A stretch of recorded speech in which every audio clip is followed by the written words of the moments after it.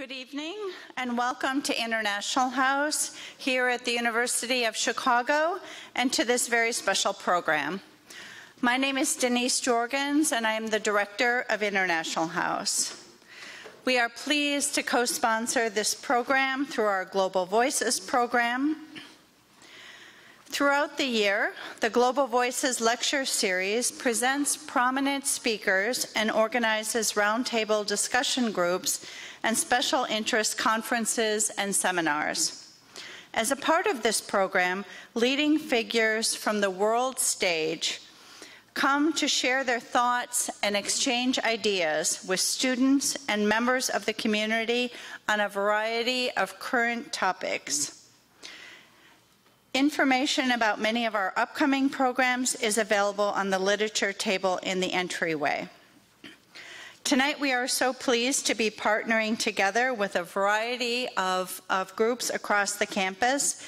These partnerships are really what make uh, our programming possible. And now I'd like to welcome Mark Lycett, the director of the program on the global environment, to the podium to begin tonight's program. Thank you all so much for coming.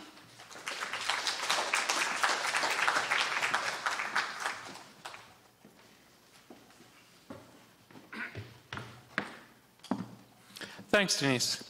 I am Mark Lycett. I am the director of the Pro University of Chicago Program on the Global Environment and the interim director of the Center for International Studies. On behalf of those programs and the University of Chicago Center for East Asian Studies, Southern Asia at Chicago, and the International House Global Voices program, we are all very pleased to welcome you to this screening of Nick Deocampo's film, Cross Currents Journey to Asian Environments. I invite you to explore all of our upcoming events on our website at pge.uchicago.edu or on our Facebook page. In just a minute, I'll have more to say to introduce Mr. Deocampo, um, who we are very pleased to have visiting us this evening. Um, but first, I want to turn the floor over to a couple of co-sponsors who've asked to say a few words of welcome to this event. First, let me introduce Vice Consul Ricardo Abuela from the Consulate General of the Philippines in Chicago.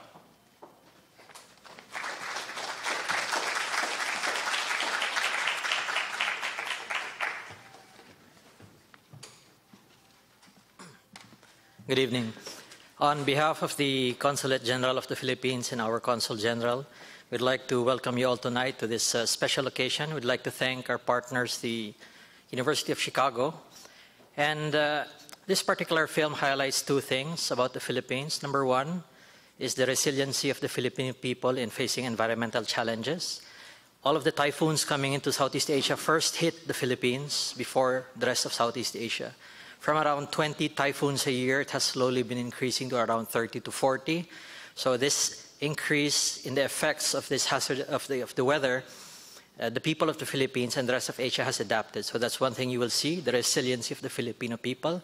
And secondly, the skill of the Filipino as a storyteller through film, as what you will uh, watch later on through Nick Deocampo's film.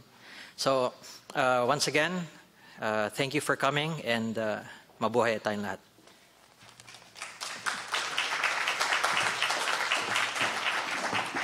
In addition, tonight's event would not be possible without the support of the University of Phil the Philippines Alumni Association of Greater Chicago. Dr. Cleo Casambre is here to represent the UPAAGC.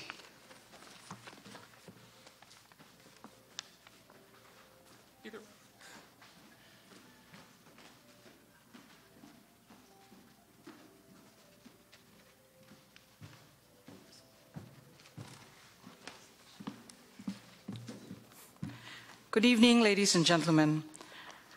I would like to say a few words on behalf of my friend Almira Gilles, who asked me to represent her uh, while she's in the Philippines now doing a writer's retreat. On this very stage last year, I premiered my composition, Be a Guardian of This Earth.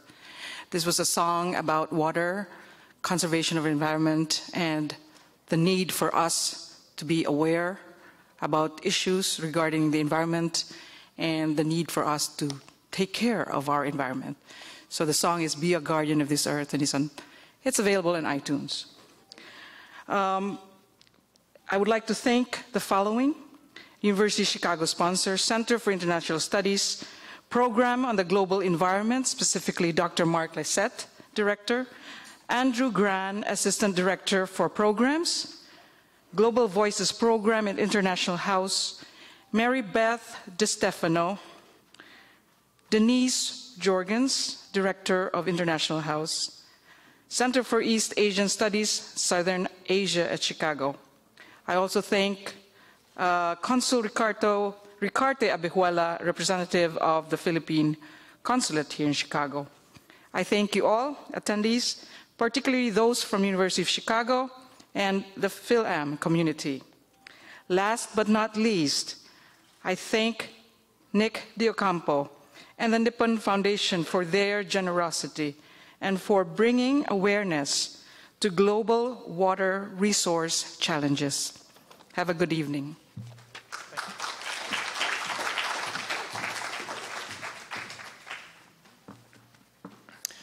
Nick Deocampo is a multifaceted personality in Philippine cinema. He's a prize winning documentary filmmaker, film historian, author, and lecturer at the University of the Philippines College of Mass Communication. He has won several awards for his documentaries and personal films, beginning with his trailblazing trilogy about life during the Philippines military dictatorship. Recently, he's embarked on a 10 hour historical documentary about Filipino cinema in 3D animation. Deocampo's academic credentials include an MA in Cinema Studies from New York University. Under a Fulbright scholarship grant, he received his certificate in film in Paris uh, as a French government scholar. He has also been scholar in residence at New York University, Chancellor's most distinguished lecturer at the University of California at Irvine, an international fellow at the University of Iowa.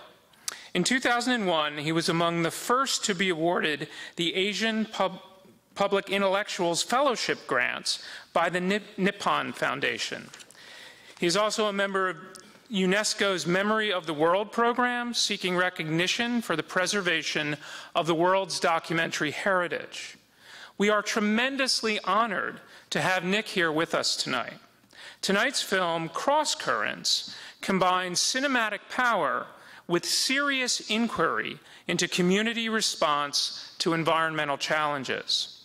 With water as its central theme, this film takes its viewers across five Asian ecological sites and shows how local inhabitants, often without scientific help, have developed indigenous ways of managing their environment. Following the screening, Nick will be available to take questions on the documentary, so I invite you all to join us for what I hope will be a lively and stimulating discussion. Now, please join me in welcoming Nick Deocampo's Cross Currents, a journey to Asian environments.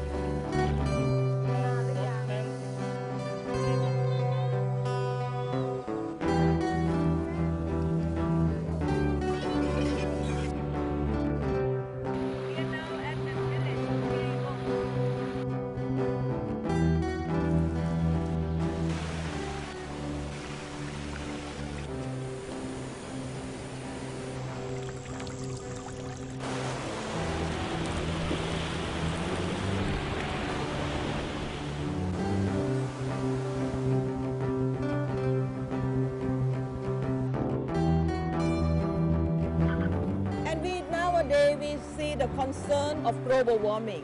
Everybody want to talk about alternative farming. Yung kalikasan ay hindi lamang dwelling, kung hindi bahagi ng kanilang katauhan. but we decided to rent a paddy field and we decided to do it in a traditional way. mendahului dengan kata-kata bahwa ini mata air harus dilestarikan dan kemudian apa namanya diambil untuk dikumpulkan di satu tempat.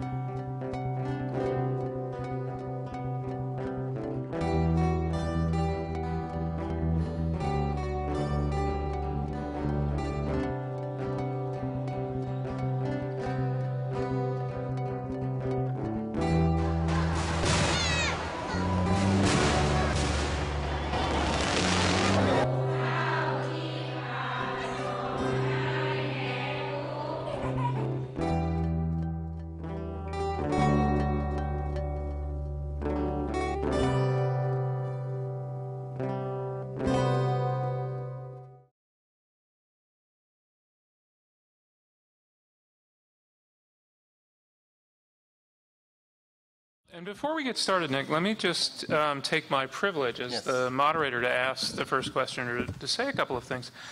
Um, it seems to me that this is an absolutely beautiful um, way of talking about nature in the world of ordinary people.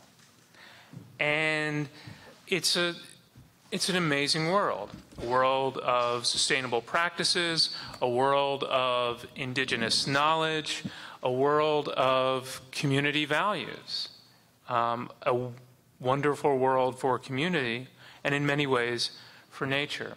And I think about some of the things that stand in opposition to that, not necessarily opposing it, right, but making it terribly complicated. So I think on the one hand, of the state, right, which is in some ways defined as not being the indigenous groups in this case.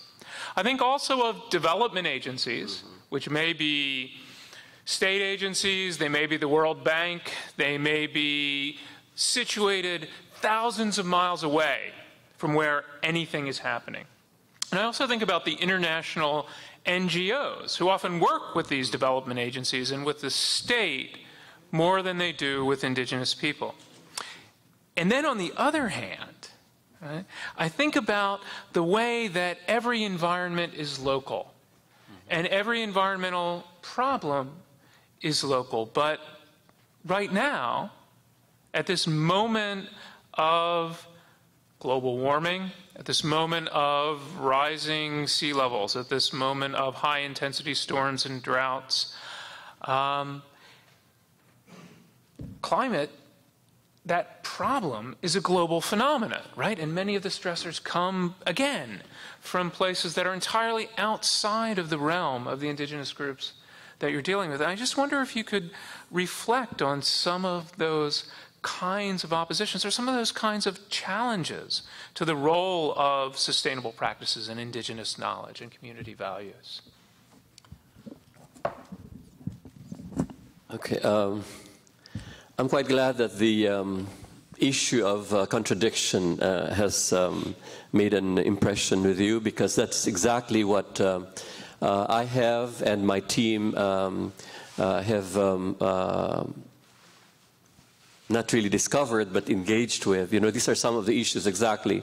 The element of discovery was really the kind of local responses that we found uh, in, the, in those communities because quite obviously, you know, for academics like us, you know, and I also teach at the University of the Philippines, um, we already have in our minds exactly all these threats that are written large over these uh, uh, communities.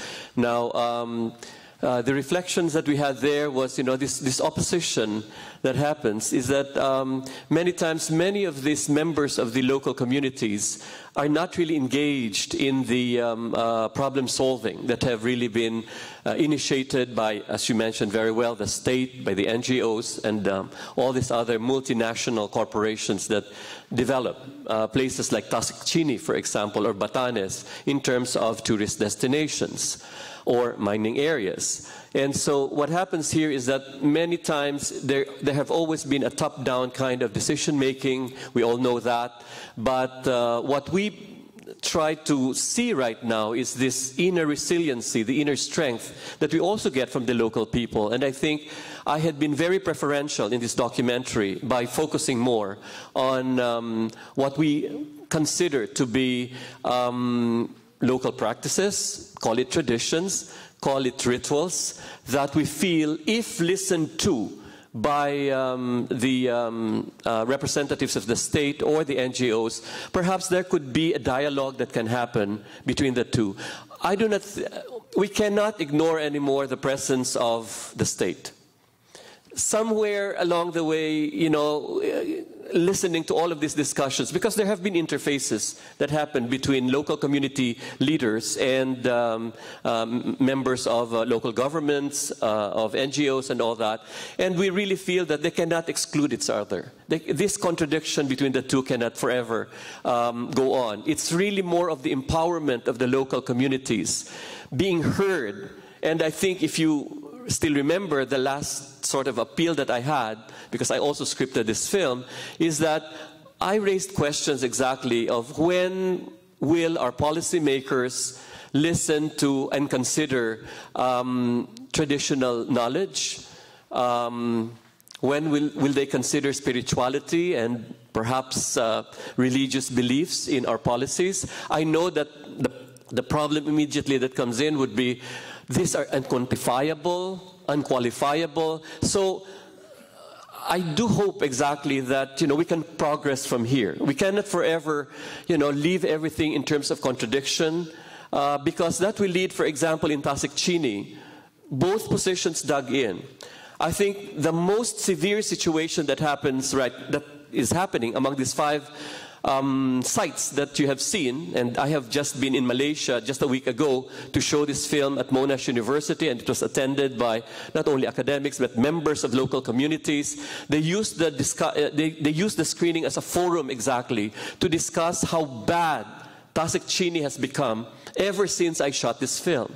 And there have been several screenings by NGOs, these are more of the uh, activist groups, to really protest against the government. So what happens here, if both begin to really just dig in and not listen to each other, then worse things can just happen. Because the government in Malaysia, you know, have um, um, continued with their own practices, but not necessarily giving the local uh, orang aslis uh, the opportunity uh, on issues of uh, you know uh, environmental um, protection, which is also connected to more complex issues like ancestral domain.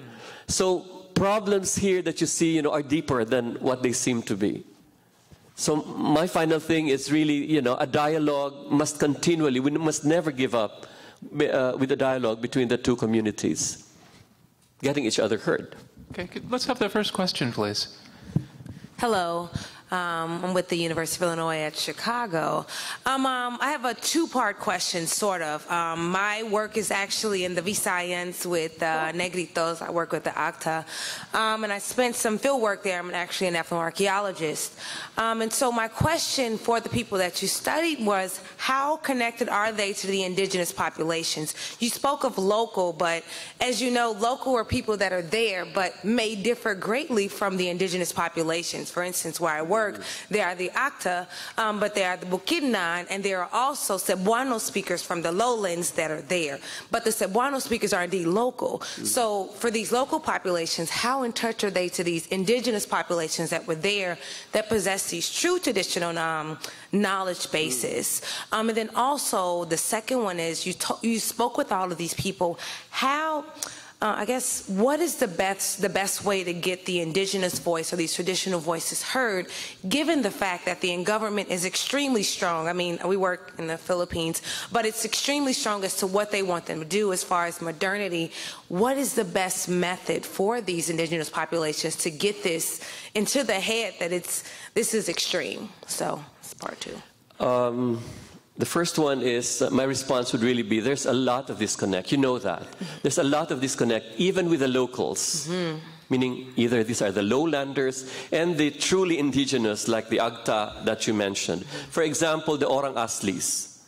The, the, the, the clearest um, indigenous group that we have here, but there are two actually that I've showed here. One would be the Ivatan of Batanes. I'm sorry, these are not really in the south. This is Yes, in the up north, Yes. the northernmost uh, uh, set of islands, which have really been disconnected to the main island. And I think the, the operative idea there is the disconnect geographically, and they are also disconnected um, uh, from the so-called locals, which would be Tagalogs, which would be the more so-called um, mainstream uh, uh, people who have uh, been educated and all that.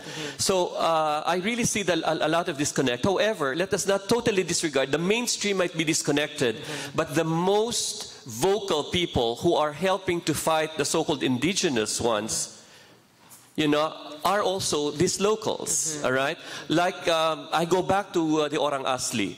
Um, the um, uh, um, uh, Colin Nicholas, the one talking about the ethnic, etc. Okay, his Chinese, uh, his ethnicity is really Chinese, right? But he's the one facing the courts right now, really pushing the whole agenda of the Orang Asli cause, from ancestral land to human rights to to all these issues about uh, um, um, um, uh, pollution. So the thing is, much as there is a big disconnect to the mainstream population of local people, still we cannot discount the fact that the most vocal, the most uh, courageous people who would represent and when I mean represent here, in, in almost a true sense of the word, that they really live with this Orang Asli. They're willing to go to jail with these people. All right, so that's, that's the first response. The second response is in what way can the indigenous people really um, uh, express themselves and be heard? Well, the, it takes a lot of forms. One can go and, and really protest. There have been protests that, that have been going on. These are just pockets right now. But uh, how far it can go to a government that doesn't listen, I really don't know. So the, the, the, the, the struggle continues. The Ivatans, however, up north, all right, uh, it's hard really to talk about locals and, you know, it's really kind of a mixed group, uh, which is a big difference in the south where I come Yes. from as well, right? The uh, Agtas, for example, or the Dumagats and all that down south, there seem to be, they're not as ghettoized as we would like to think of them, or the Aetas, for example. They're now being uh, uh, incorporated, mainstreamed in the society. So there seem to be now, you know, um, uh, representatives from their um, indigenous groups that now really, you know, represent them legally, socially, culturally. So that's how I see this situation. Okay, maraming salamat po. Oh, maraming salamat. Hello, um, my name is Sean Bala, and I'm a graduate of the Divinity School here. And as such, as a student of religion, I normally see it everywhere. But I found that part of the documentary very fascinating in each of the different places, the role that religion, spirituality, ri- rituals play. I want to know if you could talk a bit more about that. In particular, I'm interested in understanding whether um, are, does religion and spirituality provide a um, a source to help them cope with the traumas that they're going through? Um, did, did you see any sort of rituals or religious practices that evolved or changed in response to what um, response to the ecological problems they were going through? And then how do you say how do you feel that uh, policymakers should utilize those practices? Um, if you just comment on that. Um, I am so glad because my agenda here with this documentary is really um, to foreground the issue of spirituality as the first line of response. That we should consider that as being an Asian trait. Uh, and that's exactly what I want to know. Am I essentializing it? But I just want to make a comparison, for example, with Al Gore's Inconvenient Truth. I mean, there's really a lot of scientific um, reading of nature, uh, a certain uh, degree of this uh, climate change will uh, cause this kind of effect, etc. I mean, these are people who are not, as I've mentioned in this in the in the dialogue, uh, are not scientists. They're not really um, uh, uh, given all the techni- technical, technological things that could help them cope, but rather these are people who for centuries have really survived. Although right now, what I really see is that their uh, effort to survive is doubled, tripled because of this climate change that is going on. So, what is it that they are holding on, you know, in, in terms of these climac- climactic changes? The first thing is that the, um, the, um, their attachment or connection with, with the spirit, with the unseen. And it may be hard for us to believe it. It, may, be, it was hard for me to believe it. I was an academic going into that um, ritual, for example, of uh, the Ivatans. Mm-hmm. And uh, just a little anecdote here, just to really underscore the whole idea of, call it spirituality. When your camera, that can cost around $10,000, start falling down, when a French woman interviewing, for example, uh, this uh, shaman for almost like three months, and then almost like two nights before, two days before leaving the place, suddenly finds out that all her recordings have been erased, you begin to wonder what is going on. And then you realize that by talking to these uh, people who have this shamanic knowledge, if you want to call it that way, is that the spirits don't want technology and perfume. Two things. So don't have perfume when you go there. And number two, don't bring technology. And where was I? But you see, outside of the ritual season, I was even going right out there into the middle of the sea. Nothing was happening to all my equipment. Then within the, it's called in our dialect talab, no efficacy within the ritual season, when the ritual season happens, personally, I felt there was this kind of electric feeling going on that I just cannot explain. And until one night, when suddenly the whole island was plunged in darkness and something strange was just happening in my cabin because I was really at the outermost place. And then I went through the strangest experience that I ever had in my life. You know, a presence, just a presence I, re- I thought, will I survive the night? And I was calling all the gods that I want to call. And then only for me the next day, and I did survive. When suddenly, you know, out, my, my, my hut was facing east, Pacific Ocean.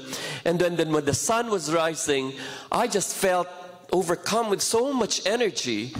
And it was almost like a welcoming feeling that, you know, I, I came back to how would you call that? another life? A life? What? But, you know, I started talking to, to, to these people, and then they said, you know, you are being tested and you are being initiated. That the word was really, you know, if we translate it, initiated. So, spirituality, I now began to think it's their connection, there is something real that, how can we prove it though? For example, you can see exactly how unbelieving I am when I, I make, with the shots that I have. The, the, the shaman was doing all the prayers, and then suddenly I pan my camera or cut into the ocean, and I said, you know, he's talking to the spirits, and it's for us to decide whether indeed there were spirits out there in the ocean that I showed you, or it's just that we have to believe that there are spirits there. So their connection is very strong. Now, you may call this as animism, but believe me, 98 to 100% of the people of the Ivatans are Catholics. Mm-hmm. Before they go to this ritual, they go to, the, to, to Mass, they go to the Catholic priest. There is a healthy coexistence between the two. So then after that, they go into animist sacrifices. But they have to have the blessing of the Catholic Church. It's like us having a revolutions in Manila. We cannot wage a revolution without, you know, the blessing of the cardinal. And, you know, you, you just put these things together, you know. Um, it's, it's really interesting. Now, the, the thing too with the, um, um, with the orang aslis, for example, why I resorted immediately to ethnomedicine is because they can heal themselves. And what I'm trying to put across here is, will they be able to heal as well the lake?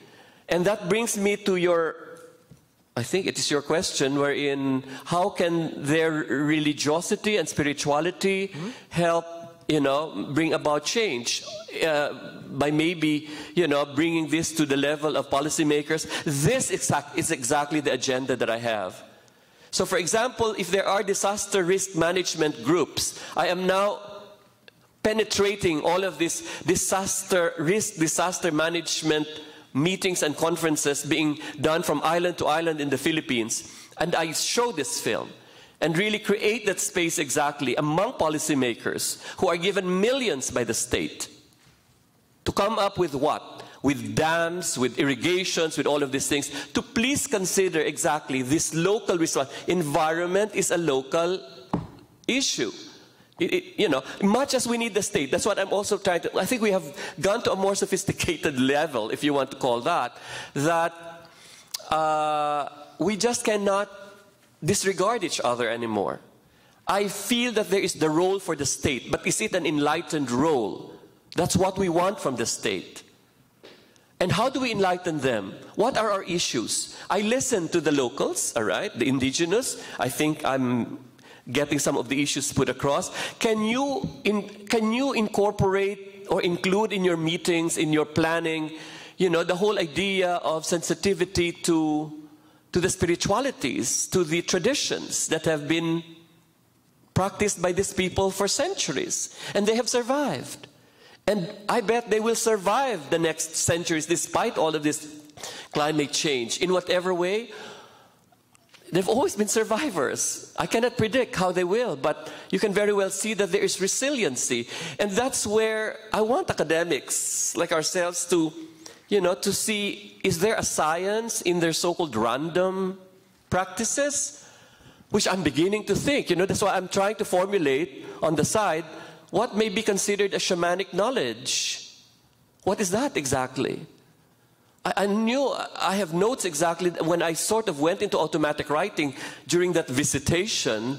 I'm even afraid to look at them, but I feel that there is something systematic and systemic in this production of knowledge. Who is producing it? How it is? Because I have seen how the community accepts and believes and practices a knowledge that comes out from, well, you call him a shaman. But, but did we, do we, how do we, I wish to engage myself into that. So one byproduct of this documentary could possibly be, you know, getting to know exactly what this whole new kind of knowledge that have been detached from my more academic, educated, you know, uh, uh, state of being, you know, uh, would possibly lead me. All right, May, I hope I was able to. You know. Oh, but there is definitely a big role of spirituality in this kind of ecological thinking or or consciousness that I am trying to propose here. Spirituality is at the heart of it. Okay. One other quick question. Um, could you tell me the order that you filmed filmed the documentary in? The locations? Did you film them in a certain order? Not necessarily because I went them several times. I okay. went there several times, at least three times in each place, especially covering uh, certain cycles of rituals. You know, immersed there, uh, immersed ourselves. So it was, um, well, we, of course, we started really. We, I really started with uh, Japan. Okay, that was my question. Yeah. Okay, thank you. Magandang, magandang gabi po sa inyong lahat. Gabi. I am Anthony from the University of Chicago, the college. And first of all, I'd like to thank you for a very insightful documentary. But I'd like to shift the discussion on a bit of a tangent towards the social aspect of these communities. So we actually know, and you know, I've read a lot, I'm from the Philippines, and I've read a lot from local newspapers about urban migration.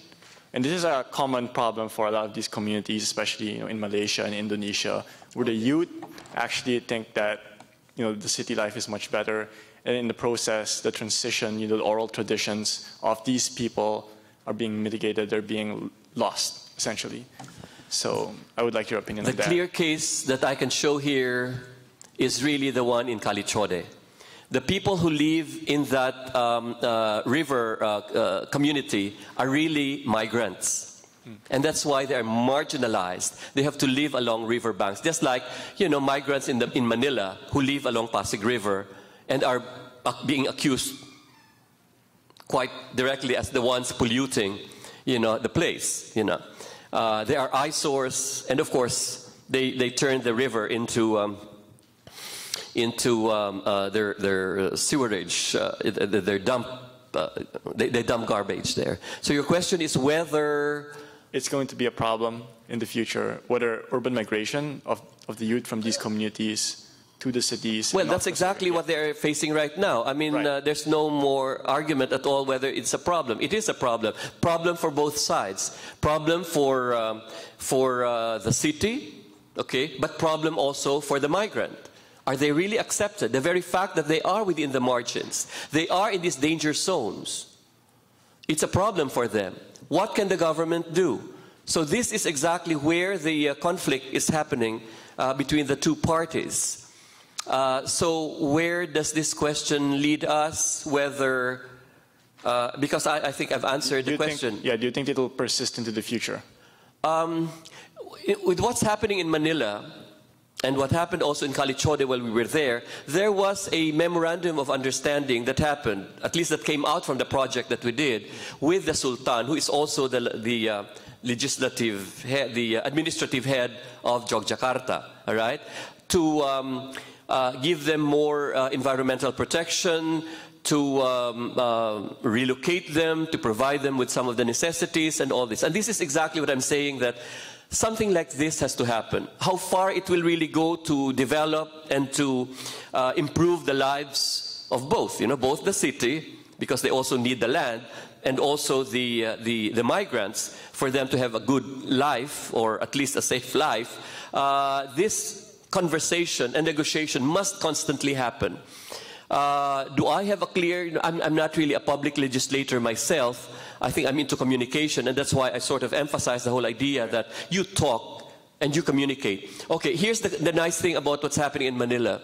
Uh, you know, the, Pasig River, if you may have seen this, you know, it's, it's highly polluted, right? But the government right now, you know, is uh, uh, uh, taking efforts to really relocate them.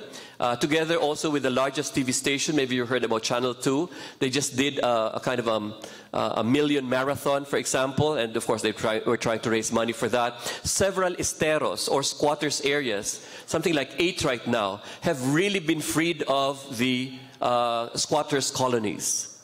And that's a great sign already. Some fishes are beginning to, you know, thrive already in that river. Some good signs are there. So never give up, really. Uh, I think that's the issue that we need to have. You know, never give up in terms of communicating with each other. So just one quick question. So in your opinion, are you satisfied with Noynoy's approach in general? One thing we need to compare him to the amount to the to the the the, the large the, the problems that he is facing right now. Um, one can never be happy with any president who will sit there, but he, I can see that there are improvements that are happening. Uh, I wish he's more proactive, meaning personally proactive, but you know he keeps on coughing, so I really don't know what you know. Uh, it looks like you know he doesn't really have a, a very strong public persona, but some of his policies are right. Although something really smelly is beginning to emerge right now in terms of you know the development funds that are being um, scattered. But is it his fault or is it really the politician? It's really the political culture. Right. So it's hard to put the direct blame on him uh, because I think the guy may have good intentions. After all, he's almost my age as well. So please give us a chance, our generation. I'm doing my best in terms of environment, in terms of art, in terms of gender in the country, hopefully in terms of spirituality. But it's hard to change the world. And I don't think he's the kind of person who beats his breast and says, you know, I want to change the world it, for those people who know exactly the politics in the country, and that's why, you know, with the introduction earlier, you know, I, you know, I started making films during the time of the dictatorship when I was a student. You know, I was part of that whole student movement. That's exactly, you know, it was a do or die thing. And for us to look back, and it's my 30th year, um, 30th anniversary as a documentary filmmaker, one gets to know, one, one gets to know exactly, you know, what kind of problems we have been facing. And this whole network of 20 years of martial law, you know, one cannot just get over the whole web of corruption and problems that happen in that country. And it's not just my country, of course. There are others that are more silent about, you know, what's going on with, with, with their own countries. Maraming salamat po.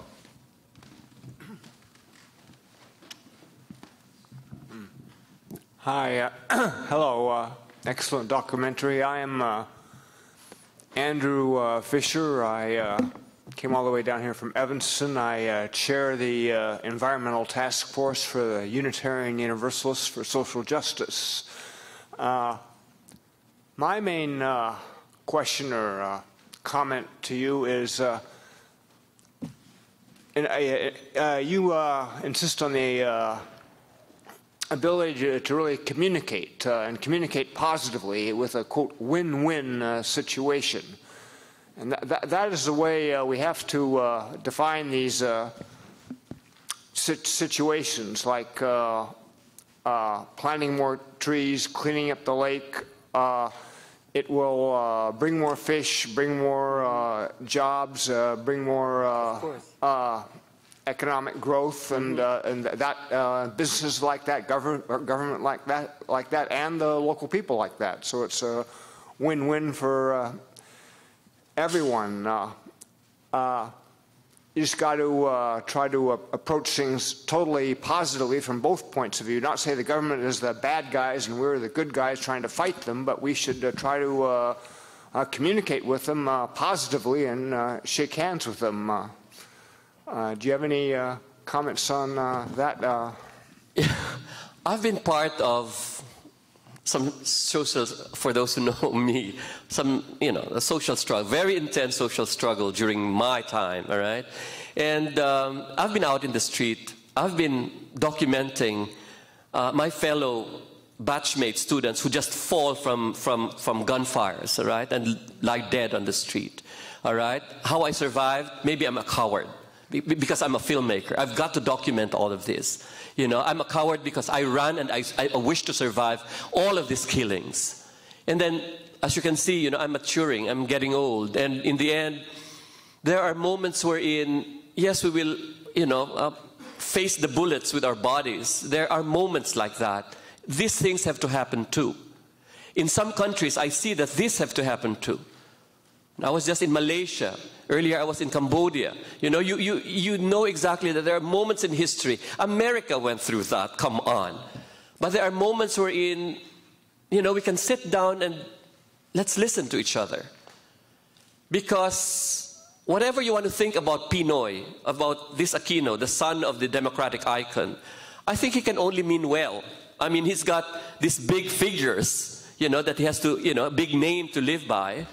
And I don't really think that, you know, uh, he would mean harm or create more corruption and all that. And situations like this, we must also know and sense exactly that perhaps we can talk to this, to, you know, you know, to, uh, to certain agents. And it's, it's really a proactive role that we need to play because life is just too short. I mean, that's just how I look at my life right now. You know, I can't forever be protesting.